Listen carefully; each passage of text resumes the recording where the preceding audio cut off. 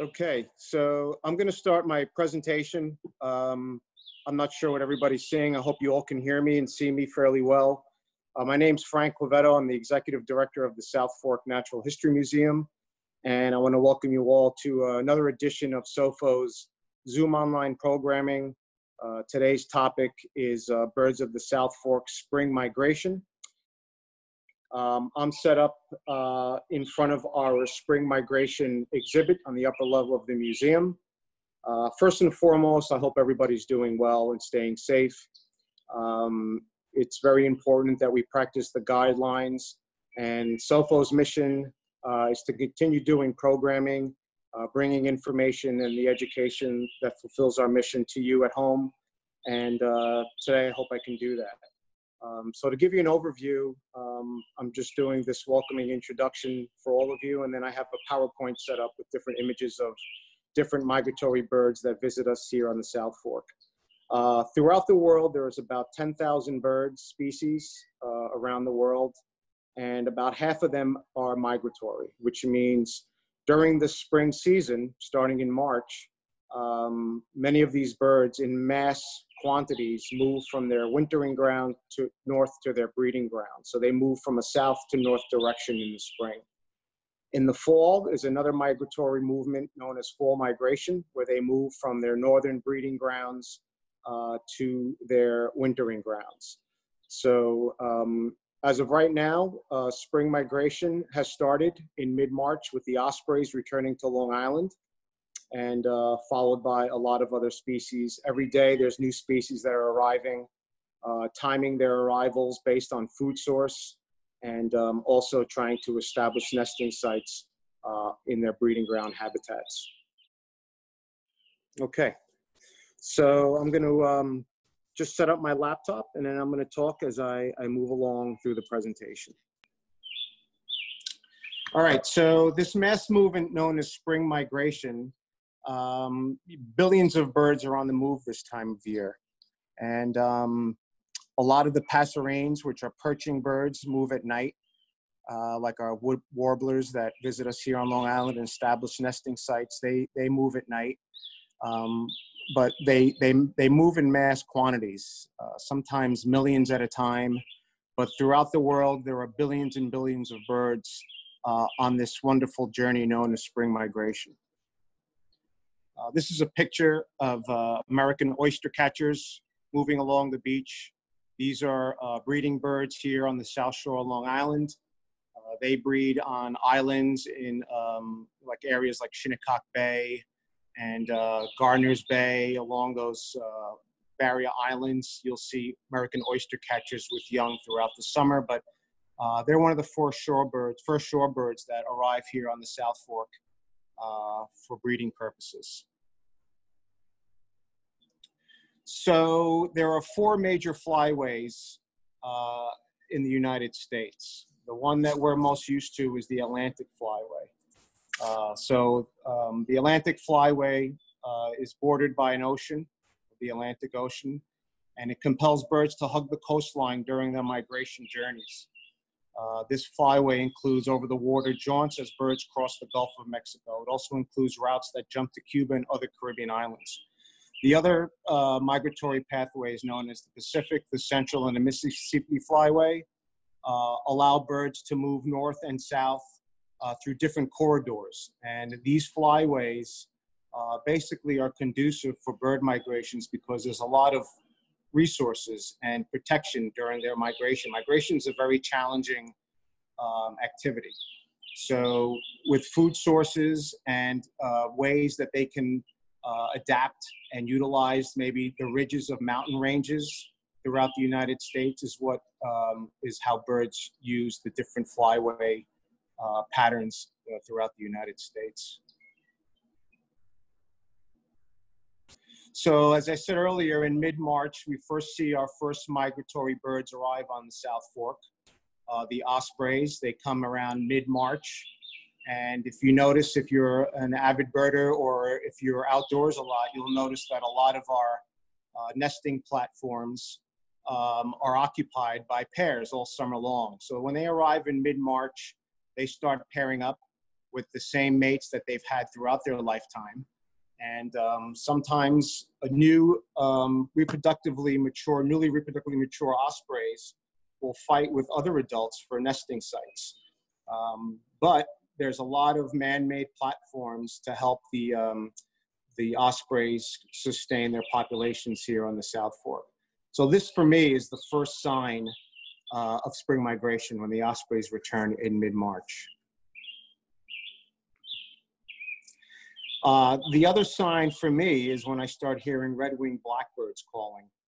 Uh, this is another breeding bird here on the South Fork.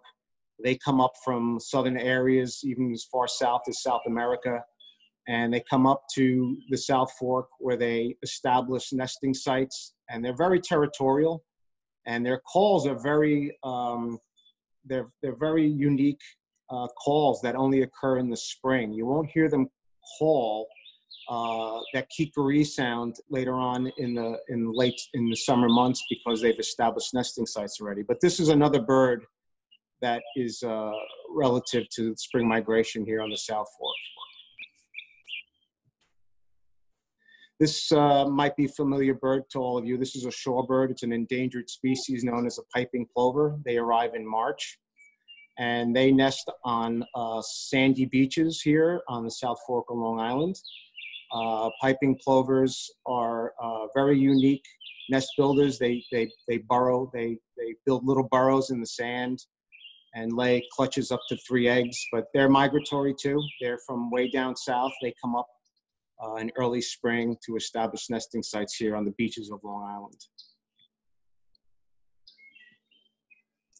So then we have our wetland birds. These are wading birds. We're very familiar with some of these birds when we frequent beaches and wetlands uh, here on the east end. This here is a great egret.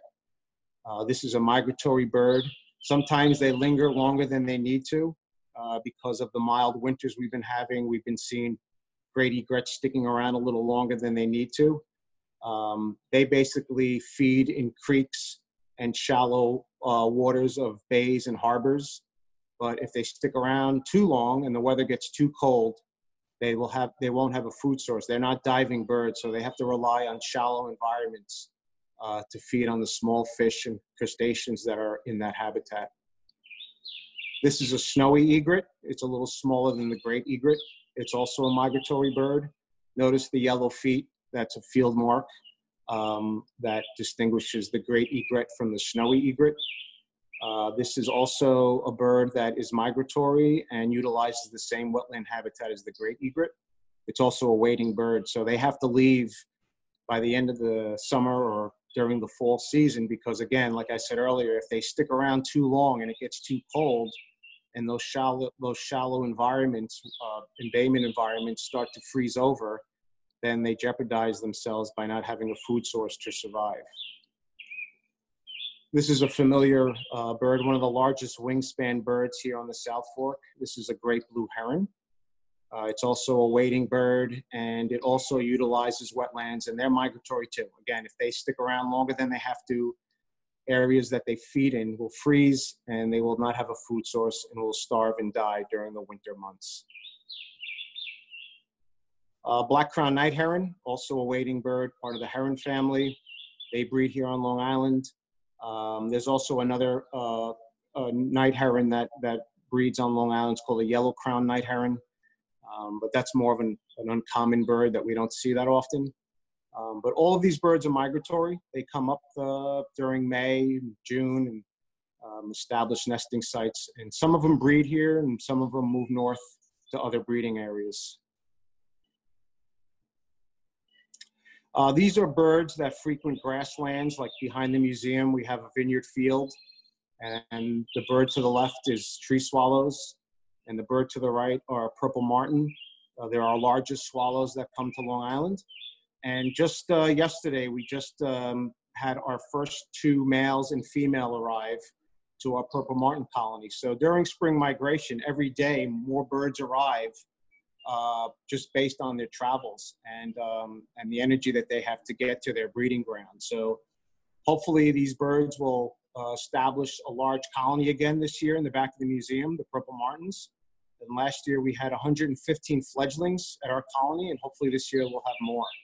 But these birds are so important for a habitat like our grassland habitat behind the museum because they're aerial feeders and are, and are insectivores. So uh, they control mosquito and insect populations. If these birds were not around, uh, then we'd be overwhelmed with a large insect population. So these birds are necessary, they, they are native, and uh, they've evolved to basically uh, nest in grassland habitats, such as the one behind the museum, and to control the ecosystem. They basically uh, are balance keepers of the mosquito population here on the South Fork.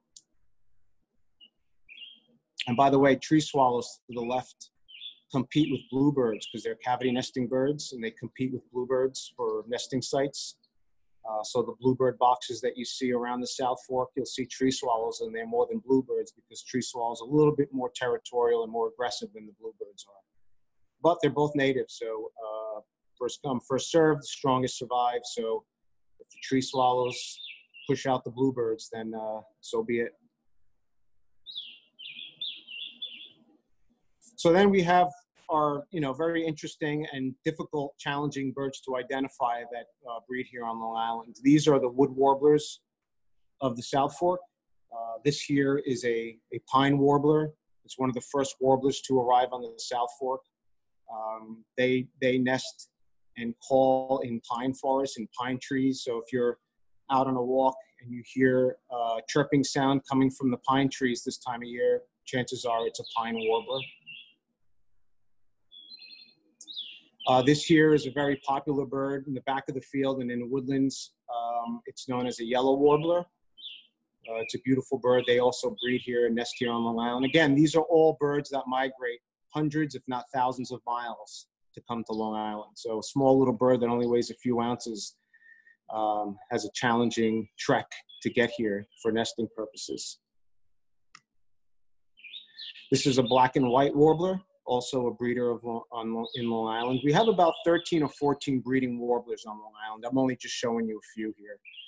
Um, Joe Giunta, who's a, a member and a, a, program leader here, does a, a, breeding warbler walk each year, and um, he tries to search. It takes a long time, but he usually gets all the breeding warblers on his walk. So it's a great walk, and if you see it on our description on the programs, and uh, we're out of this pandemic and we can get back outdoors, I ask everyone to please sign up for that walk. It's a great walk, and Joe's a great presenter.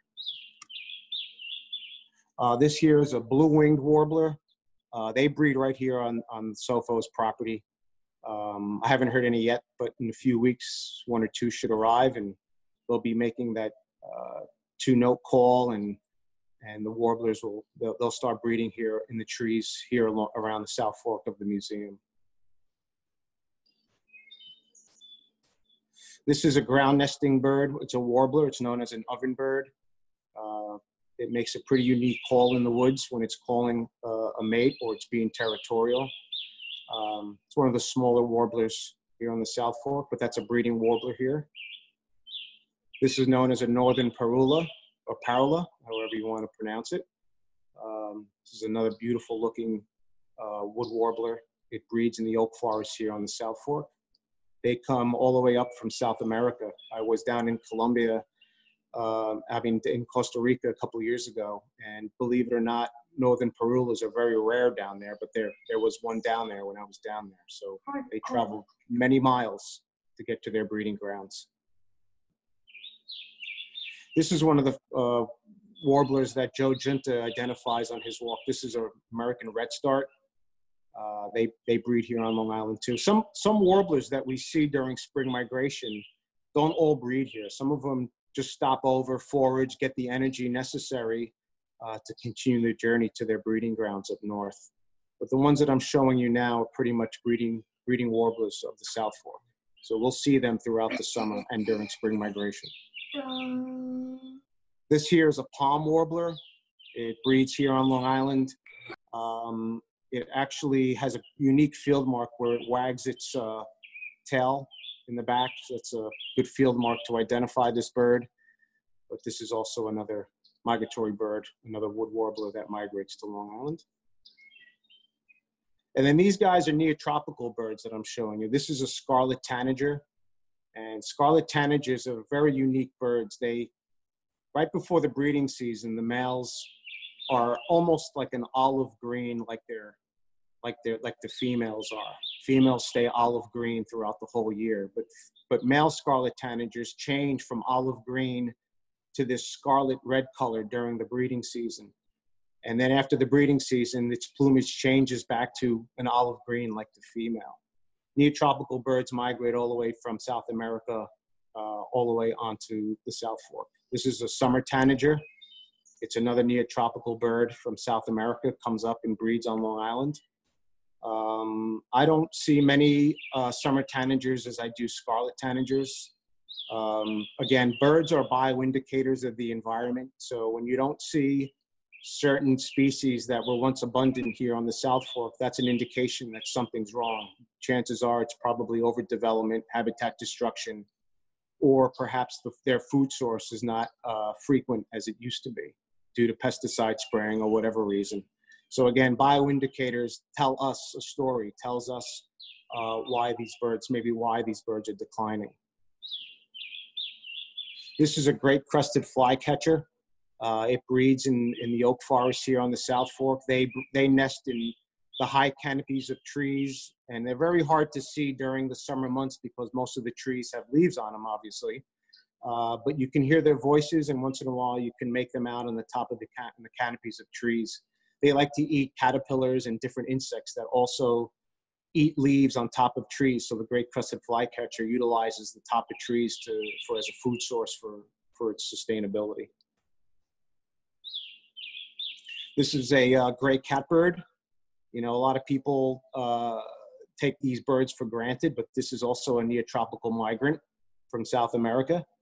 Uh, they breed here on Long Island. You know, they make little calls like a cat sometimes, um, but they're also territorial and they mimic they mimic species. They they they mimic other bird calls. So sometimes as a birder, it confuses you uh, like northern mockingbirds, sometimes they chirp different calls and you think it's this particular species and it's the great catbird, the northern mockingbird that's making the call of another species.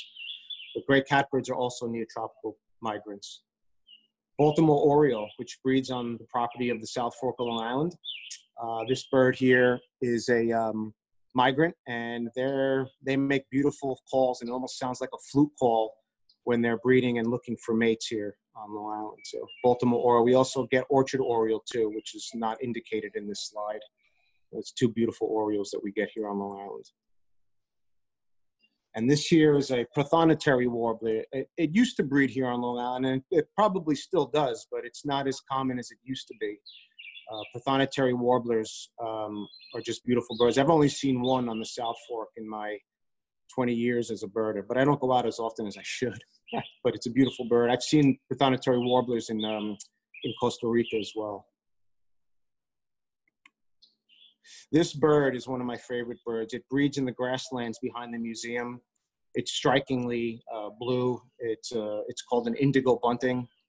And uh, one of our late board members, uh, Eric Salzman, claims that the vineyard field behind the museum is one of the great spots for nest for indigo buntings to nest in on all of Long Island. And when this bird is uh, calling in the spring, when it arrives, it makes such a beautiful call, and the males are just strikingly blue, like the picture that you see here. Um, so during the summer months and at the end of the summer, these birds are abundant in the back of the field. And uh, hopefully you can join us if things get back to normal to search for them in one of our field programs later on in the summer. Indigo bunting. And we have our shorebirds. Uh, we live on an island, so we have an abundance of shorebirds that migrate from South America and different places around the world to come to Long Island to have young. This is this is a willet. It's a very common bird in the summer. Um, it's a shorebird. It's one of the largest shorebirds that we see on Long Island, but it's a migratory bird as well. American oyster catcher. They're here now. They're breeding. This was the one of the slides that I showed you earlier in this presentation. Flock of American oyster catchers moving along the, Barrier Beach or one of the beaches here on the South Fork. Uh, they raise their young here too. They're migratory, and they're they're pretty much here now, and will stay here throughout the summer, raising their young. This is a very unique bird. This is known as a red knot.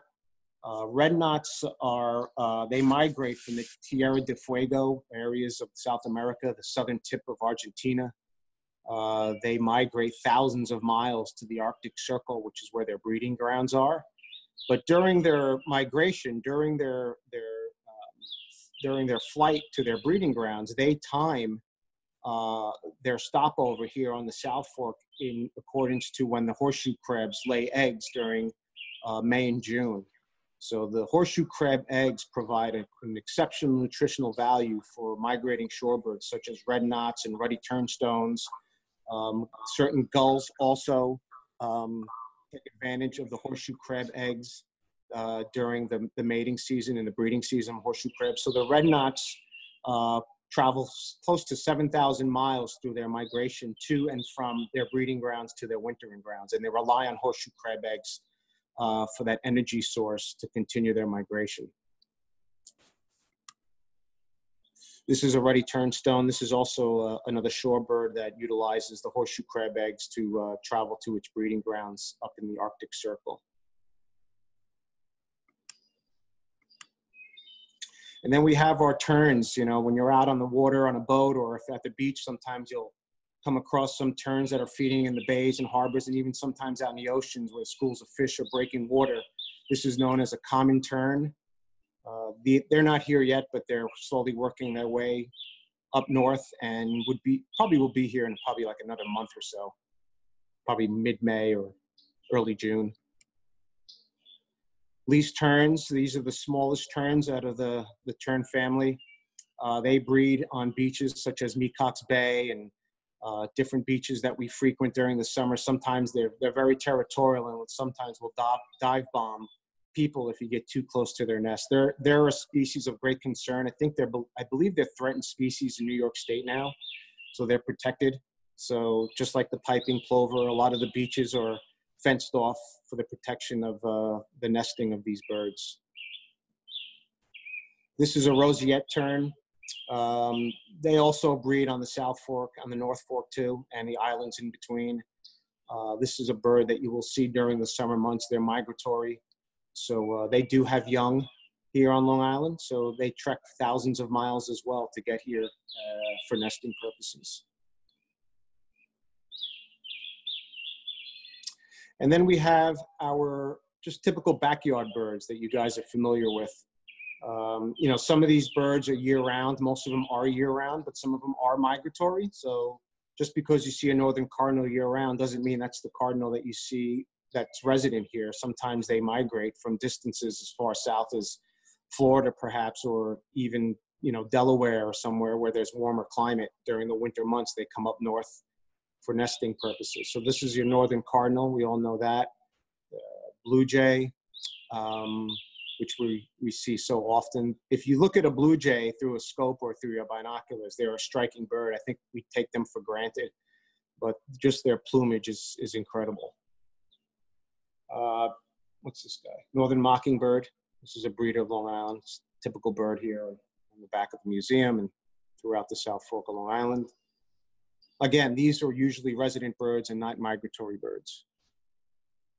Black-capped chickadee, this is a bird that we see at Morton Wildlife Refuge when we feed birds with some seed out of our hand. They're the ones that come to our hands and are around our feeders and are year-round resident of the South Fork. Uh, this is an American goldfinch. They're also migratory, but they're year-round as well. So you see them year-round, but some of them do come up uh, from their wintering grounds up north to their breeding grounds here on Long Island tufted titmouse, year-round bird, but could also be migratory. And this is uh, an American robin. And I've just noticed a whole flock of American robins that just arrived in the back of the field. I'm sure they were migrating. When you see flocks of birds in, in huge numbers at one time during the day, chances are this was a, a migrating flock that came down as the sun comes up in the morning and they, they migrate at night. When the sun comes up, they pretty much drop down to a migration trap where they can eat and forage and gain the energy necessary uh, to continue their migration or to start building nests and to, uh, and to mate and create offspring for the summer. American robins can have four clutches, four broods per year. So that's why they're very abundant. and uh, they start breeding right away and they can have up like i said up to four broods. That's like 16 offspring in one season. So that's pretty much the images that i have in my powerpoint presentation. Um, just bear with me one second. Okay so i hope you all can see me so that's that's my powerpoint presentation but i just want to uh, just inform everyone about certain um, tools when you go out birding. Uh, these field guides that I have in my hand are very useful. They're great guides to uh, learn about the different birds that migrate to Long Island. Um, this is uh, Peterson's Field Guide to Birds of Eastern and Central North, uh, Eastern North America and Central America. So this will give you a good indication of the migratory birds that come to Long Island. And this is the Sibley's Field Guide to Birds of Eastern North America. And most importantly, is you have binoculars. Uh, without binoculars, it's going to be hard to uh, look at the different field marks that uh, these birds have at different times of the season. So, uh, with that said, uh, I just want to thank everyone for for being here for this presentation. I just want to remind everybody that next week I will be doing another presentation on next Wednesday at 4 p.m. titled Vernal Ponds and Their Ecosystems. Uh, I plan to have some of our uh, native salamanders and frogs that utilize those habitats uh, on that on that presentation. And then the following week for Earth Day, April 22nd, we have a special presentation with Jungle Bob. Uh, he's going to be having different exotic animals uh, that he'll be showcasing from his site uh, up island. I believe he's in Patchogue. So, um, so be, be aware, look at our website for more upcoming scheduled Zoom programs. And again, I'm Frank Quevedo, the director of the museum, and thank you for being here this afternoon. Have a great day. Stay safe, everyone.